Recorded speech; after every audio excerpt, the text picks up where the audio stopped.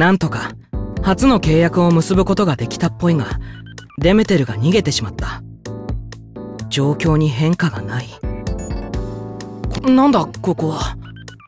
駅のホーム？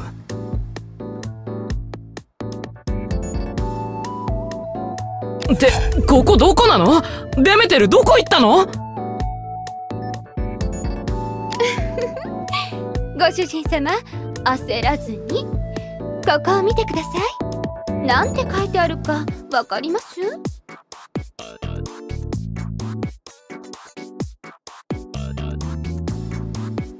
なんだと？11と4分の3出口。し知らなかった。ホグツが実在するなんて。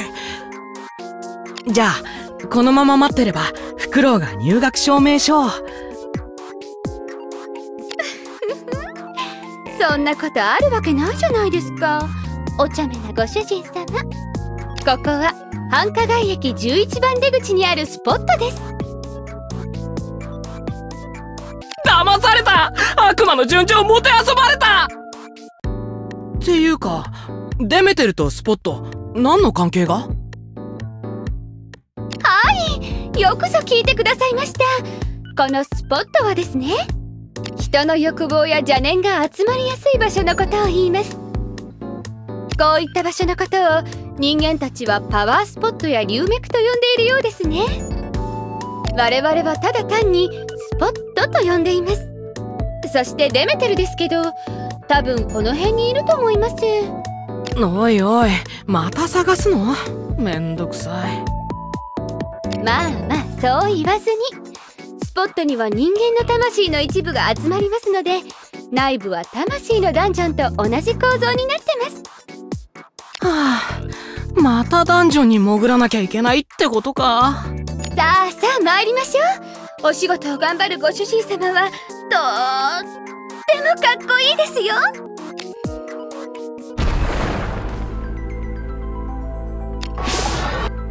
なあモナお前今回の魔王争奪戦なんで俺なんかのところに来たんだ？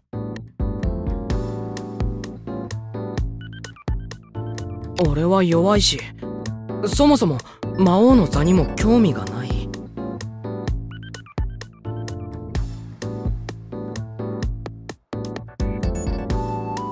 お前だって本当に俺が魔王になれるなんて思ってないだろ？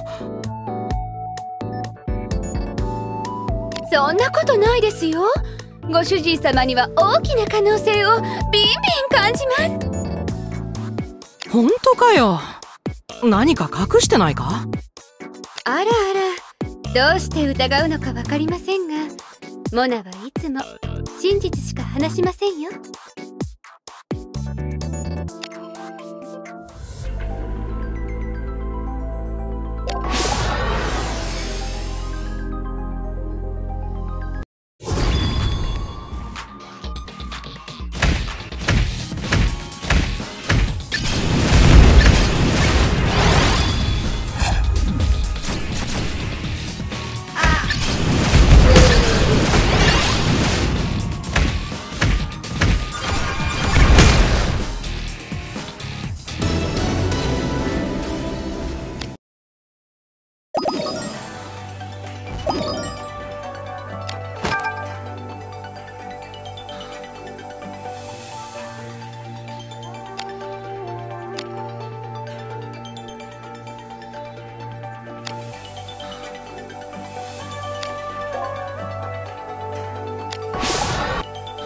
何度も言ってるけど俺は魔界がうんざりだからここにいるんだよ。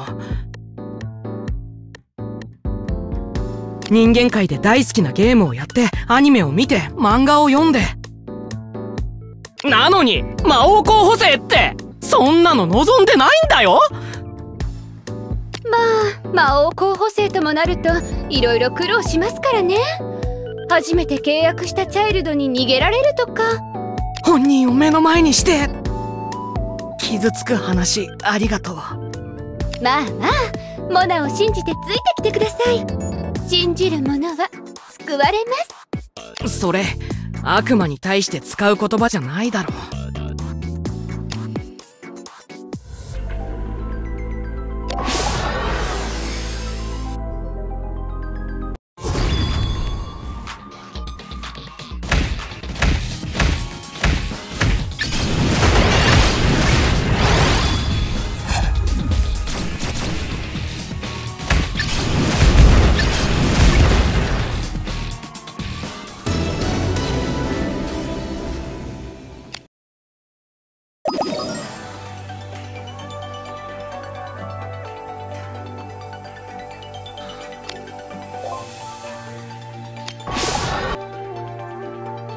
月曜日になれば地球が崩壊するって思ってたのに。ああ病院なんかに行きたくない。宇宙人の侵略はいつ起こるのよ。私なんていなくても地球は何事もなく回り続ける。ああもう嫌。誰か誰か私を助けてよ。あれはデメテルの契約者。なんだか暗いことをブツブツ言ってますね。なんであの契約者はあんなに悲観的なんだ？今の彼女は俺と契約して願いが叶えられたはずだろ？そうですね。願いは確実に叶えられています。今の彼女は望み通り気の向くままに生きているはずです。じゃあなんであんな暗い顔しなくちゃいけないんだ？例えばわがまま放題なせいで職場で孤立しちゃってるとか。え？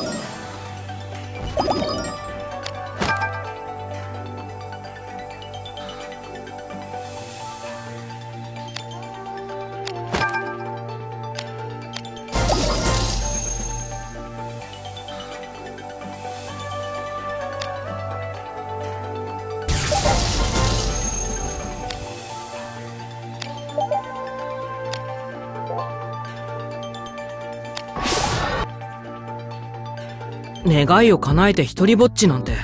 それじゃあかわいそうだろ？そうですね。彼女には辛い一日になりそうです。信じられない。あのバカ契約者。あびっくりした。お前どこから出てきたんだ？逃げ回ってたくせに。ご主人様が気づかないだけでチャイルドはいつもご主人様のそばにいるんですよデメテルちゃん。お久しぶり。結構探しましたよ。ねえ。私思うんだけど。言いたいことがあるならさ何もかも吐き出した方がすっきりするじゃん。なのになんでうじうじ後悔しているわけ？私があんなバカから生まれたなんて。ほんとありえないわ。不満が溜まっているようですね。とりあえず自分から現れてくれて一安心です。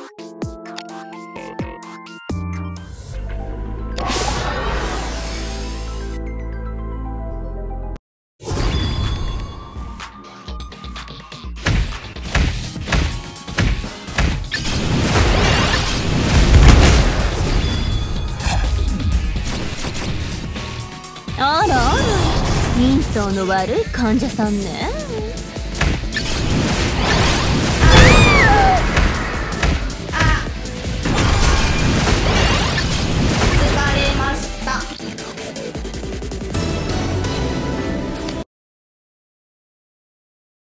なあモナ。あの契約者はこれからどうなるんだ？今の状態って彼女が望んだ形なのか？これからどうなるかは知りませんが本人は後悔しているように見えますね。ならば以前のように本音を話さないよう気をつけるしかないでしょうね。以前のように？幸せになれてないんだったら契約した意味ないじゃないか。ですが私たちには何も問題ありません。私たちは何も気にせずただ契約を結んでチャイルドを生み出せればいいだけです。不公平だろ。それでいいのかよ。人間は契約自体を忘れてしまったり夢だと思い込みます。彼女も契約が原因で今の状況があるなんて気がついてもいないでしょう。それじゃあかわいそうだよ。はーいダーリン。あ出てくる時には合図しろって言っただろそんなことはどうでもいいのよ。ねえまさかとは思うけどさ。私の本体のこと。じゃ、じゃ、じゃ邪悪な悪魔である俺がくだらない干渉なんか抱くわけがないだろう。ーん？そうなんだ。私は何か感じちゃったんだけどバイトの時間だ。ああもう行かないと。かわいいダーリン。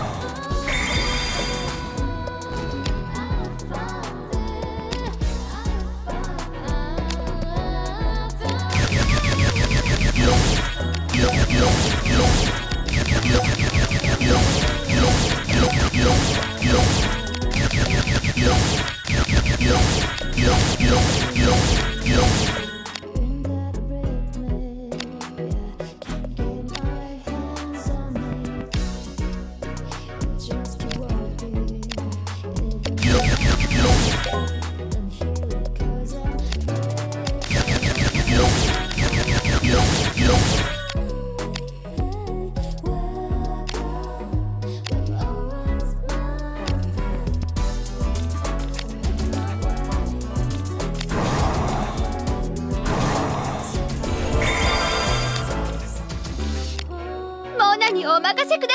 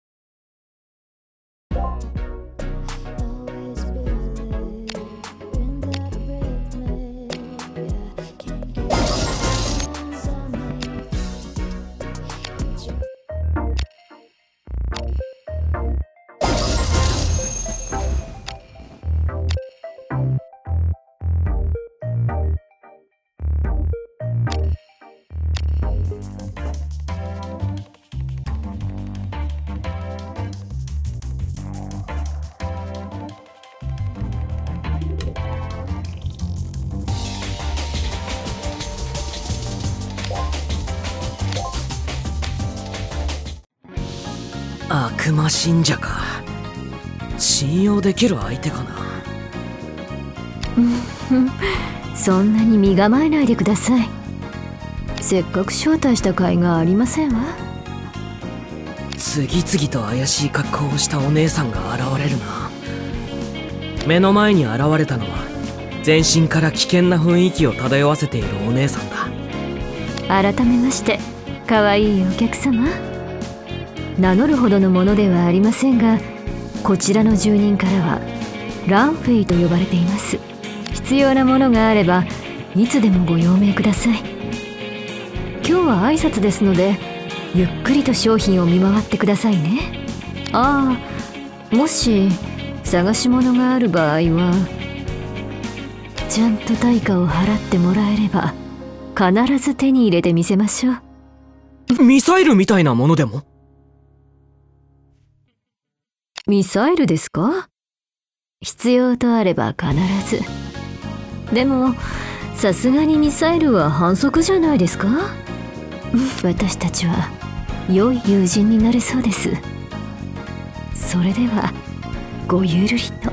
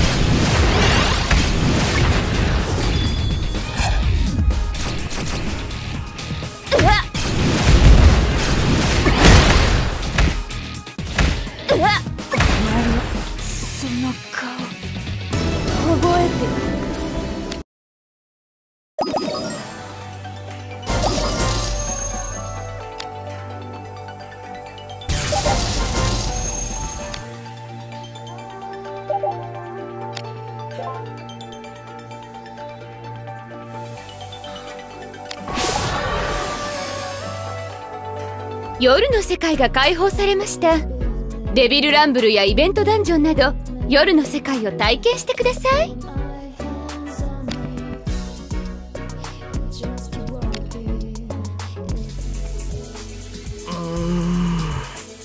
これは問題だ。そんな顔してどうしたんですか？私の可愛いご主人様。かわいい。それ禁止禁止ワードに設定。あらら。禁止ワードがどんどん増えていきますね。それはさておき何か悩みがあるのでは？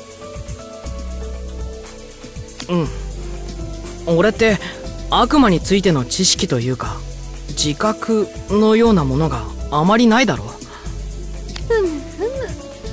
あまりって言いましたか？本当に自分に甘い方ですね とにかくチャイルドたちもなんだか疲れているようだし何をどうすればいいのか全然わからないんだ。俺がやってるのは魔王争奪戦だろ？バイトとはわけが違うんだ。チャイルドたちのために何かサポートをしてやりたいんだ。それはモナが行っていますがモナのサポートに何かご不満でも？ご主人様は優しすぎます。もっと悪魔らしい態度をとってください。申し訳ございません。でも今後のことを考えるといつまでもモナだけに任せることもできないだろう。せめてお前の仕事を手伝えればいいんだけど。先ほどもご注意しましたが悪魔らしからぬ優しさですね。本当にしょうがないご主人様。それならいい場所がありますそこは夜の世界と呼ばれています。いい機会なので一緒に夜の世界へ行ってみましょう。えー人間と悪魔がこんなにたくさん。こんな場所があったなんて。驚きましたか？まあこの場所を知らない悪魔がいる方が驚きですが。ここは悪魔と悪魔信者が集う場所。どうですか？活気に満ちているでしょ？そうだな。でも悪魔信者とはいえ人間だしこんなに悪魔がいると危険じゃないのか？いいえ。夜の世界は違い封建ですが実際にはそれほど危険はないですよ。需要と供給与えるものと求めるもの刹那の欲望を満たすためすら働く素敵なところで。すむしろこの場所では悪魔よりエクソシストたちの方が危険です。でも安心してください。ご主人様の悩みもきっとここなら助けが見つかりますよ。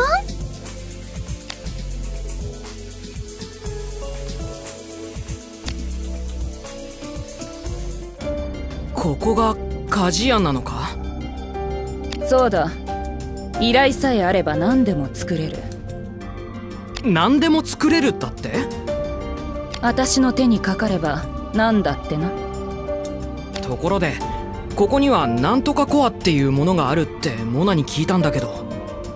ああイグニコアのことか。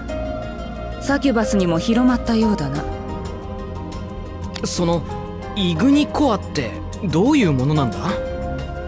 チャイルドに限界を超えた力を与えるものだ。限界まで成長したチャイルドにイグニコアを与えると新たな境地に達することができる。なんだって？すごい力じゃないか。なでも限界を超えるってことは代償があるんだろ？お前は無から有を生み出せると思うか？いや神じゃあるまいしそんなことできるわけ。そうだな神にしかできんことだ。だが私たちは一階の悪魔に過ぎん。無から有を生み出すためには素材が必要だ。どんな素材が必要なんだ？コア素材とチャイルドだ。やっぱりな。そんなことだと思ったよ。チャイルドに限界を超えた力を与えるために他のチャイルドを生贄に捧げろってことだろ？ただの抜け殻だ限界を超えた力を与えるためには新たな抜け殻と新たな魂が必要だ。新たな魂？そうだ。コア素材とチャイルドを合成してイグニコアを作りチャイルドの無意識に存在するクリフォトにそれを装着するんだ。神のように無から有を想像することはできないが神の真似ならできるというわけだなんで悪魔が神の真似をするんだ？ふぬけたことを言うな。まるでどこかの誰かだな。なんだって？案ずるより産むが安し成長の限界に達したチャイルドにイグニコアを装着してみろ。だが一度装着したイグニコアは解除できん。どのイグニコアを使うかは慎重に考えろちょっと待て。絶対さっき失礼なこと。言ったよな。うるさいやつめ。ようやく気づいた。ついに私の手でイグ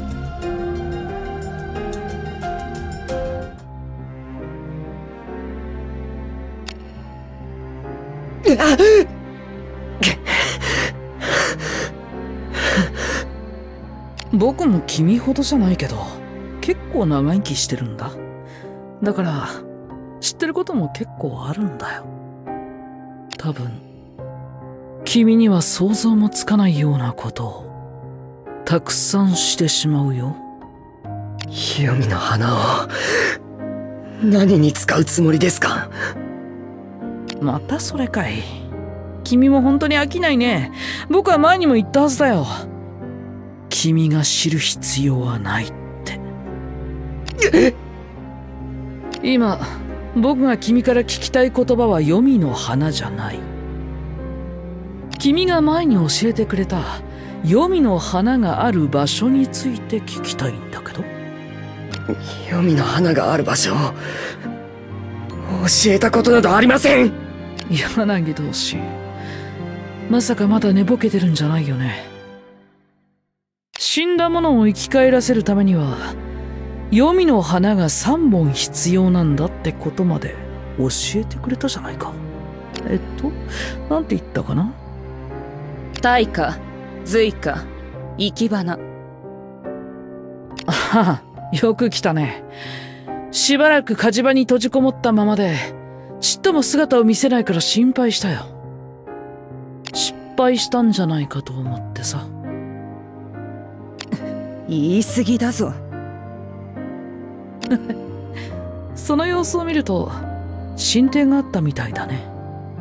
ああおかげさまでな僕役に立っただろ？ああ。黄泉の花については僕じゃなくて柳同士の手柄が大きいけどね。そうか。感謝する柳同士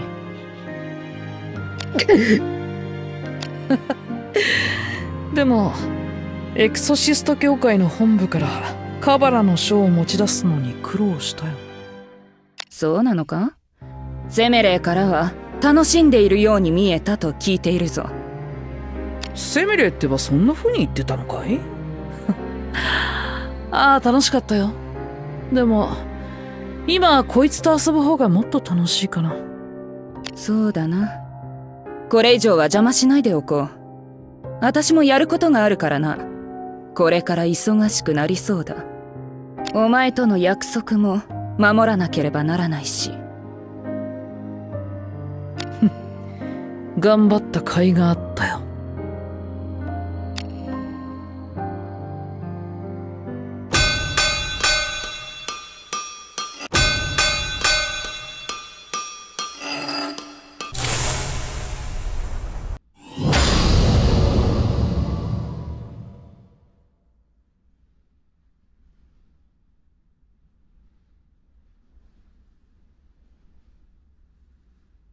ついに完成したぞ。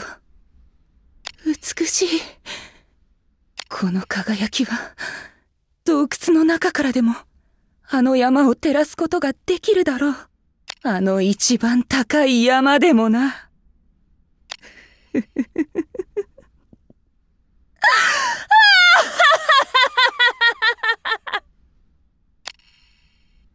ここが鍛冶屋なのか？何が望みなんだ？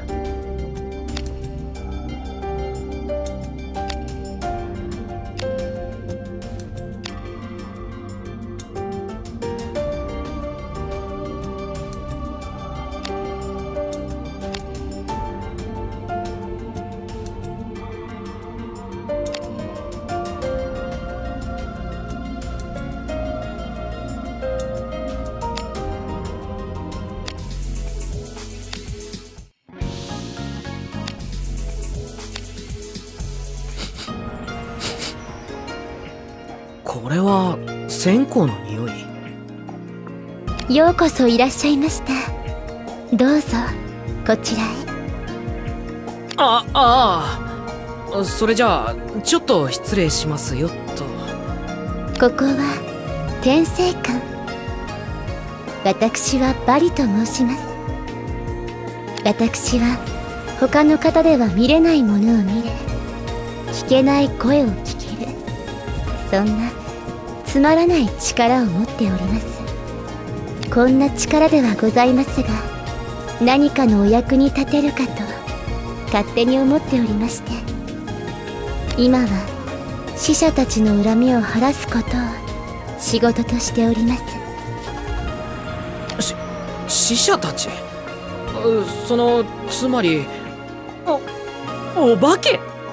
もしかしてお化けが怖いのですか？そそんなことはない今日はどのようなご用で？お会いになりたい亡者でもいらっしゃいますか？それとも新しい機会を見つけに来られたのでしょうか？新しい機械なるほど。ご存知ない。その長さに違いはあれど全ての創造物の生はたった一度のみ。たくさんの方々が夢半ばに消えていきます。人間より長い時間を生きるチャイルドでもいつかは終わりが来る。それはこの私も同じ。でもある時このように考えるようになりました。もし死から解放された存在になれたらもう少し幸せな人生を過ごせるのでは。小さな願いです。それは小さな願いじゃないと思うぞ。そうは言ってもただの創造物が何の代価もなしに死からの解放を行うことはできません。代わりにあなた様のチャイルドたちを捧げるとチャイルドを捧げる？そんな残酷なことできるかよ？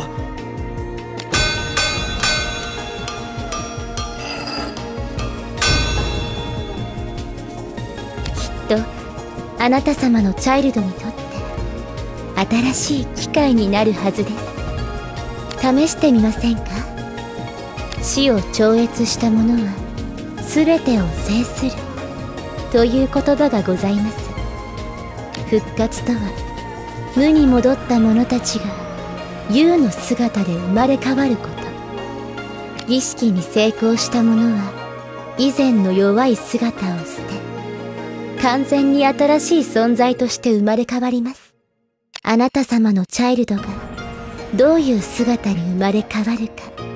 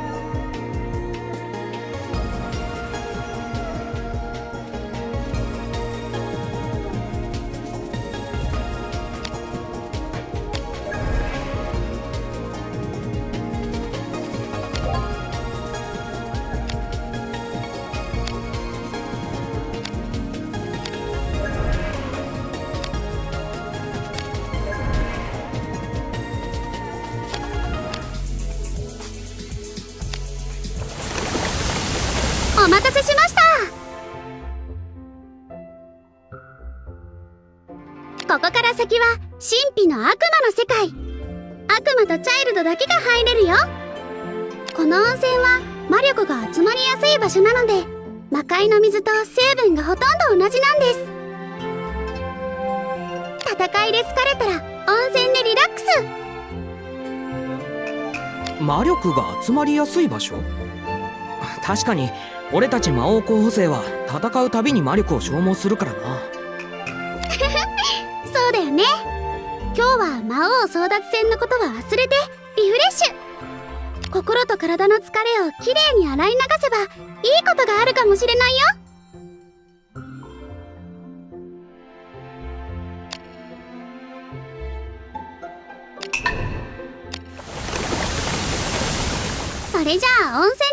説明するね。まだ温泉に入り慣れていないチャイルドは邪気で姿を隠されちゃうの。邪気で隠されたチャイルドたちの本当の姿は百鬼夜行という夜の散歩で見つけてあげてね。百鬼夜行で本当の姿を見つけてもらったチャイルドたちはきっとあなたに心を開いてくれるよ。邪気で隠されている状態でも会話はできるから。チャイルドとゆっくり会話しながら仲良くなってね。好感度のレベルが上がって心が通じ合うようになった相手はより強い力を発揮できるようになるよ。俺はそういう高度なコミュニケーションは苦手なんだけど。ふっふん。そんなあなたのために用意したものがあるよ。お互いのことをもっと知るためにプレゼントをあげてみて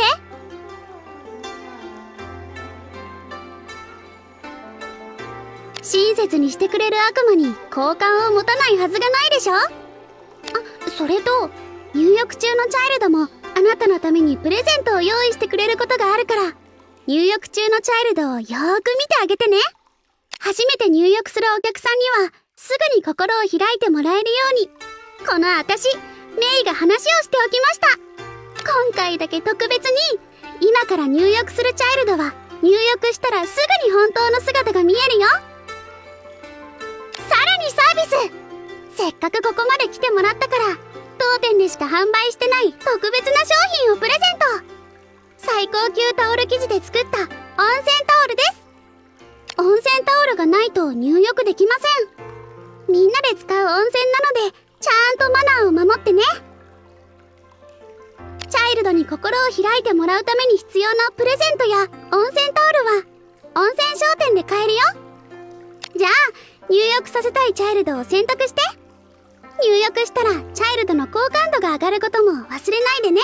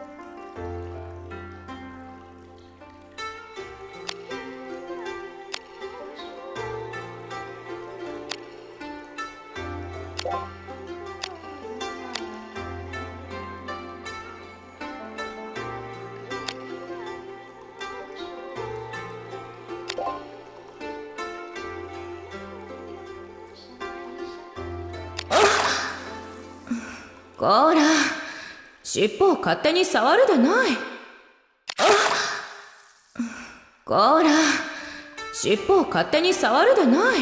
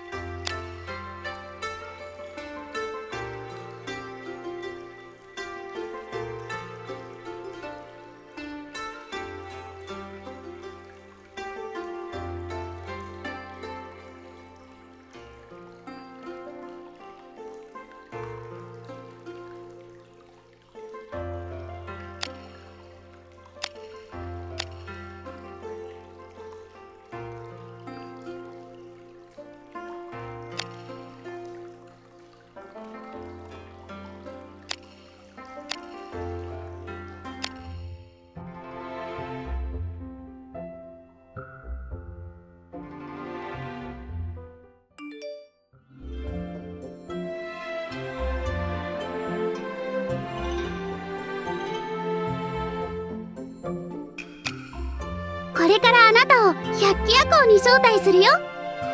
背筋がゾクッとする不気味な夜。青い光を見たことはある？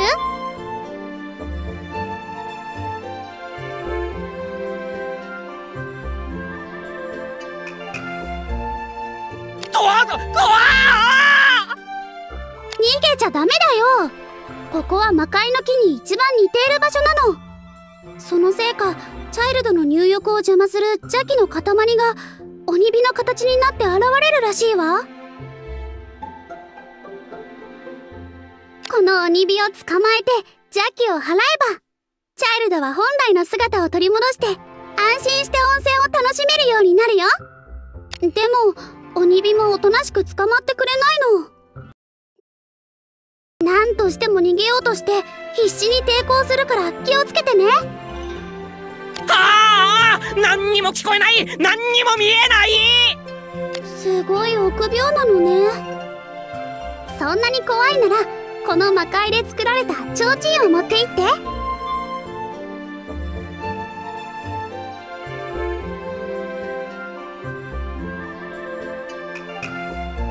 特殊な気を引き寄せる魔界の光があなたの足元を明るく照らして鬼火を見つけやすくしてくれるよ。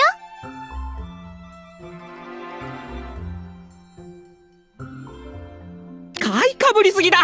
あのな俺は提灯があってもなくても怖いんだよ。はあそれなら仕方ないね。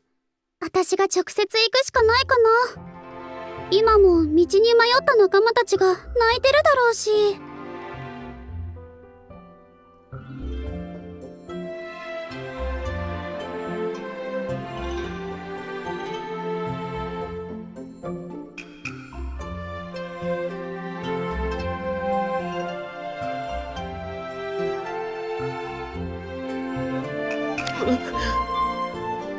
鬼火を捕まえるのは温泉管理の仕事と並行するには本当に大変だけど。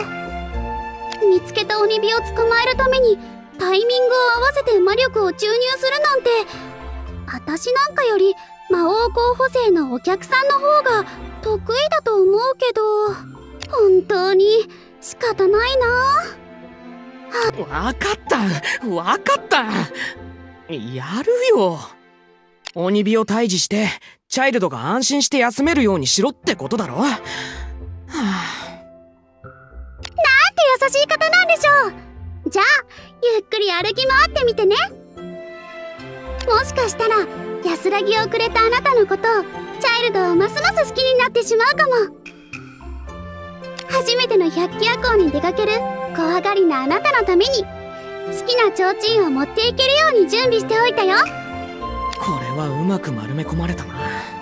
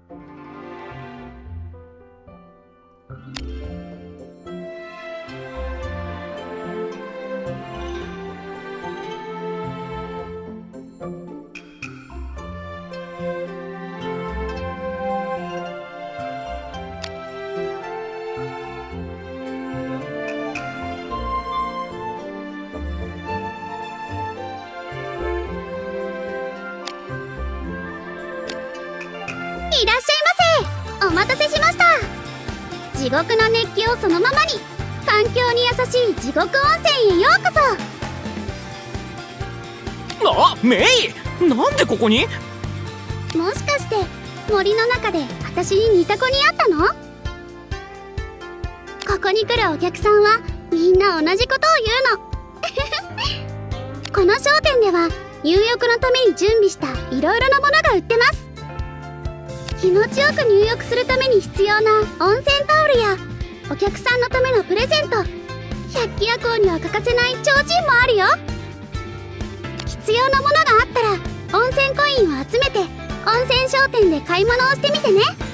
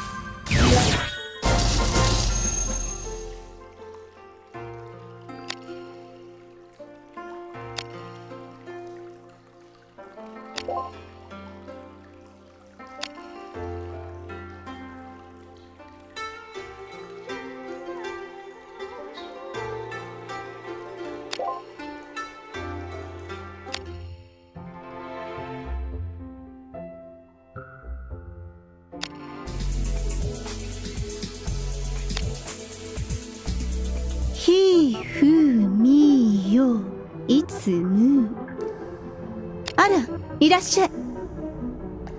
私はスカーレットコレクションのオーナー。ブリジットよ。会えて嬉しいわ。君の評判はよく聞くもの。えっとなんて言ったかしら？恥ずかしいな。誰がそんなこと言ってんの？ちなみに聞くけど他には何か言ってなかった？例えばそうだな。うん。心が優しい悪魔とか。あじゃなきゃ第一印象はあんまり良くないけど仲良くなったら超いいやつとかさ。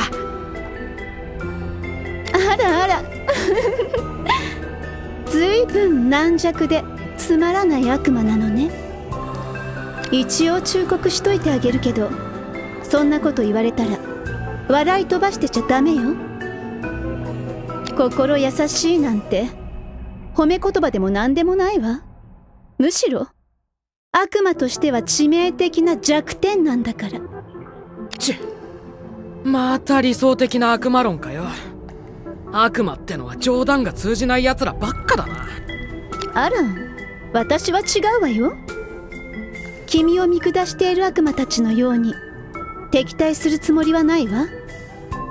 それにね私は君の役に立てると思うのよ致命的な弱点を持った心優しい悪魔をどうやって助けてくれるってんだよ。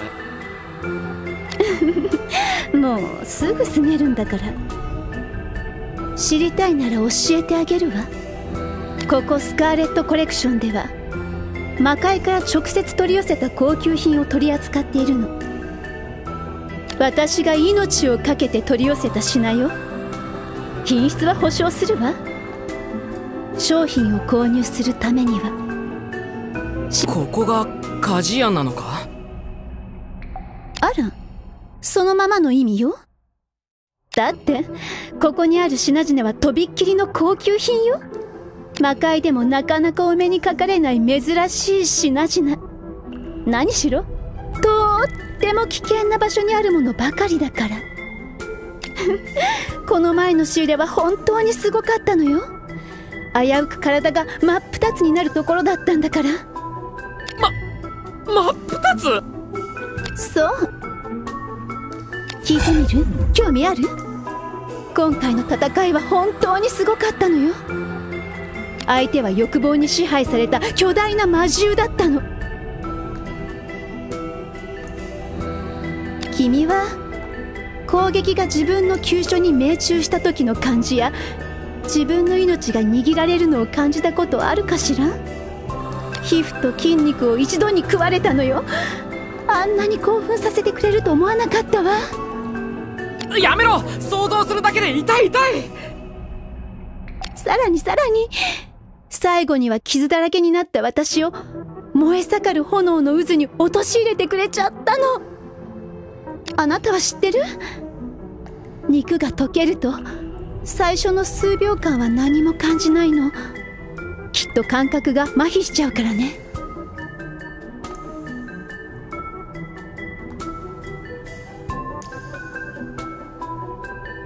面白いのはその後ね。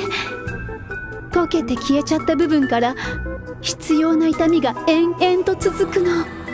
それは舌にピアスを開けるがごとく。快楽物質が脳内にあふれ葉巻をふかしているような感じ。まさに閲楽の始まり。火で焼いた針で皮膚の下が貫かれていく感覚は時間が経てば経つほど神経をすり減らしていくわ。何それ？ちょっと言ってる意味が分かんないんだけど。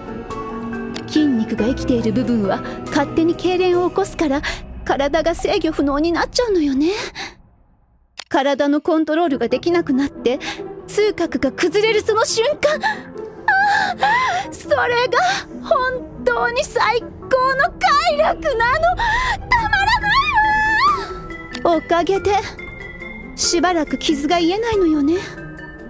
そう見えないでしょうけど実は私かなり重症なのよ。だ大丈夫か？頭と体。2つの意味で心配だよ。痛みによる圧倒的な快感は脳が壊れる直前まで続くの。それは本当に幸せなひととき。私はその儚い瞬間を心から愛しているのよ。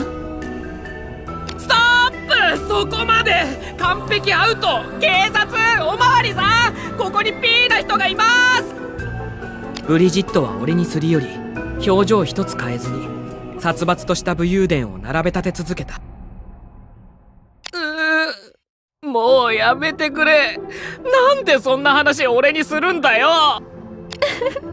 だって君の反応が面白いんだもの。私も。おふざけはこれくらいにしておくわ。でも何かが必要になった時は鉱石を持って私のところにいらっしゃいな。店は休まず。いつでも開けておくから。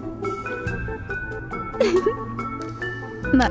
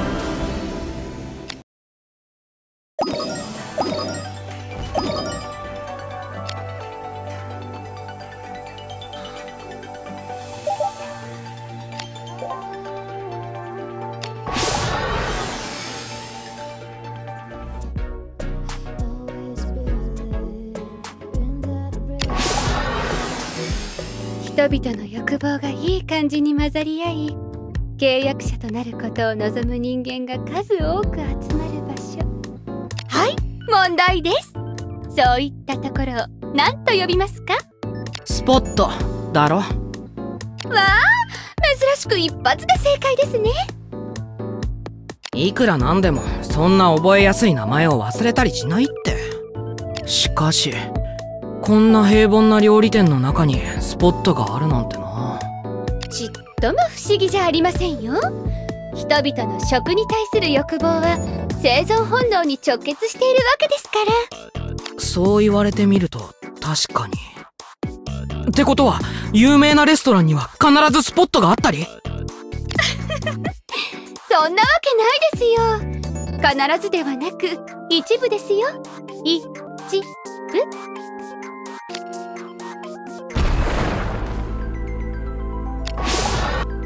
もう分かっていると思いますが契約者たちは願いの成就を求めています。つまり人の欲望が集まるスポットを探せば契約者を効率よく確保できるというわけです。スポットの存在が周囲に良くない影響を与えているケースもありますがご主人様が直接対処してくれますし安心ですね。何が安心だよ。俺は危険なことなんてしたくないんだよ。虎穴にいらずんば孤児を得ずってやつですよ。揉め事を避けて通ろうとする方が非効率ですよ。というわけで頑張って探索に励みましょう。あああの頃の生活が懐かしい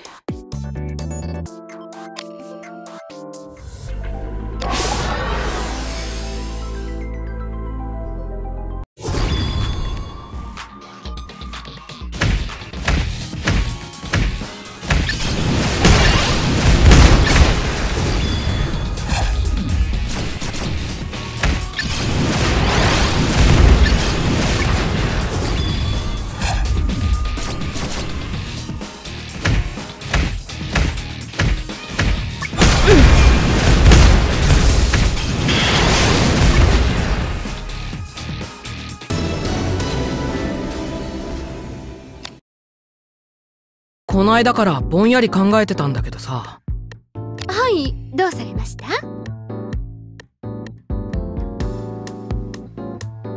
つまり成功してるレストランの主人はみんな契約者ってことになるのか？いいえ順序が逆です。契約者になったから成功したということです。え？どっちも同じじゃないか。全然違いますそんなこと言ってるようでは悪魔失格ですよ。まあ魂の一部を悪魔に差し出した契約者がそのこと自体を忘れてしまうなら正確なことは確かめようがないしな。ご主人様の身近な隣人にも契約者はいるかもしれませんね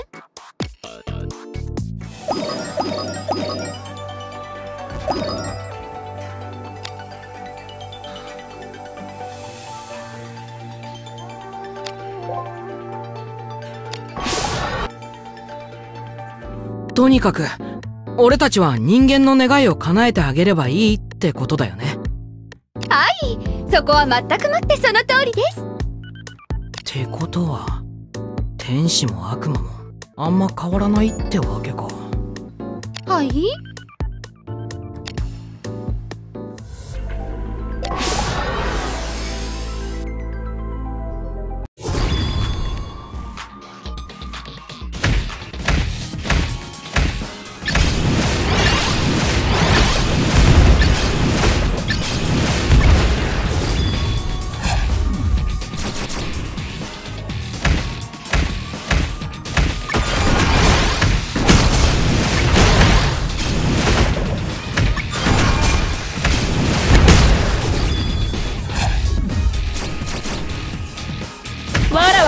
逃れられぬぞ。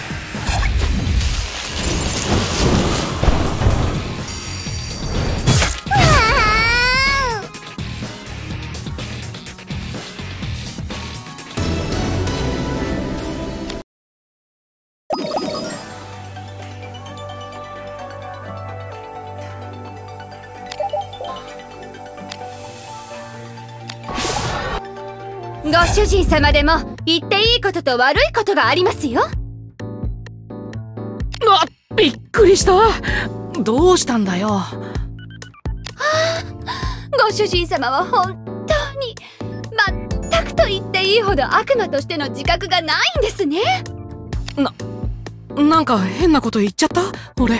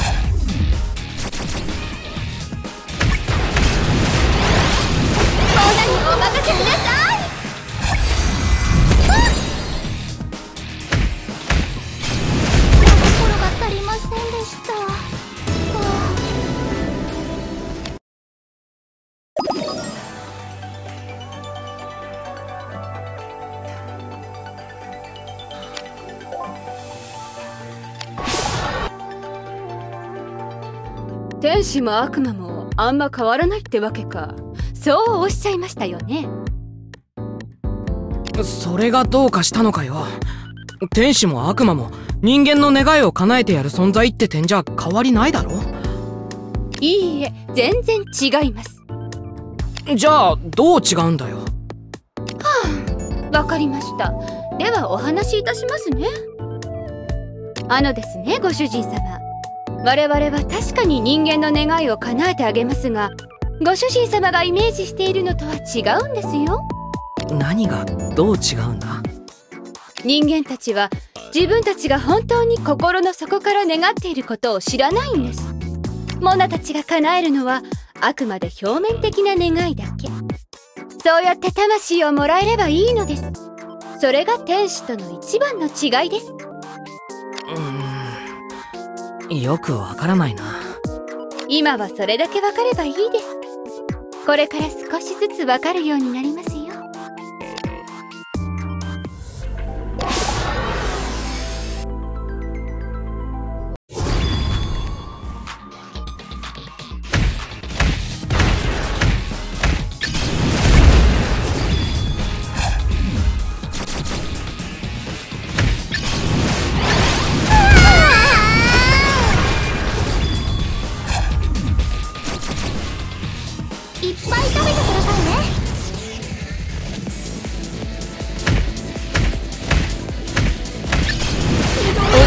に耐えられるかな？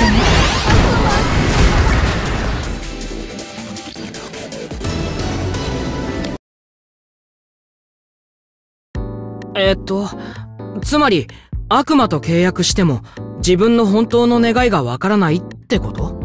そうですね。それは多分魂がとても大きくかつ複雑回帰なせいで人間たちが把握しきれないからでしょう人間たちは3000年もの間思い悩んでいたようです。でも結局のところ誰も答えを出せませんでした。4000年ぐらい生きてみればわかるのかな？長生きで解決できる問題なら悪魔はいなかったんじゃないですか？それに問題が解決してしまったら悪魔が介入する余地がなくなっちゃうと思いますよ。私だったらすぐにわかるけど。自分。ま前にも言っただろうが出てくるときは合図しろって。は あお前は俺の話をこれっぽっちも聞いてないよな。ねえねえ。このデメテルの一番の願いはね。ダーリンが惜しみなく注いでくれる。愛愛だなんて悪魔の俺には似合わないだろかわいい。恥ずかしがっちゃって。ううるさい。恥ずかしがってなんかないっての。まあ今すぐご主人様に理解しろという方が酷ですよね。人間誰しも仮面を使い分けて生きていますどれが本当の自分かわからない以上本当の願いもまたわからない